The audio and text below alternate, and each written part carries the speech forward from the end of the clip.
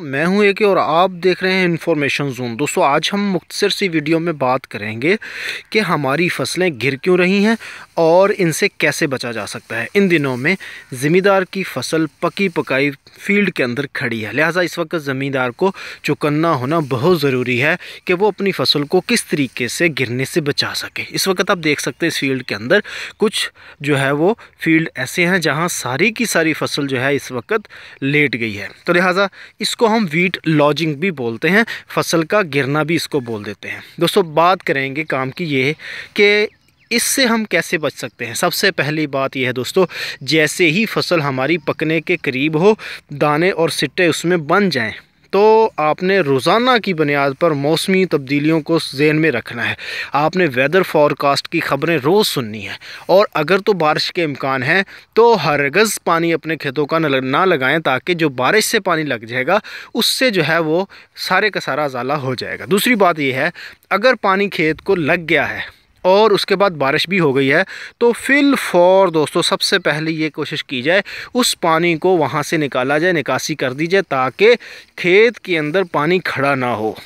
اس کے بعد دوستو جیسے ہی ہوا چلے گی، یہ فوراً جو ہے آپ کی گندم جو ہے وہ گر جائے گی۔ اس سے بھی اگلی بات۔ دوستو، آپ نے ہر دوسرے سال دو سال کے بعد ایک دفعہ چزل پلو کا لازمی چلانا ہے۔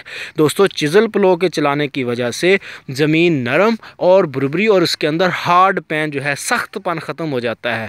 تو لہٰذا اس کے بعد آپ نے اچھے طریقے سے جو ہے وہ پلوئنگ اینڈ پلینکنگ کرنے کے بعد اپنی فصل کو کاشت کرنا ہے۔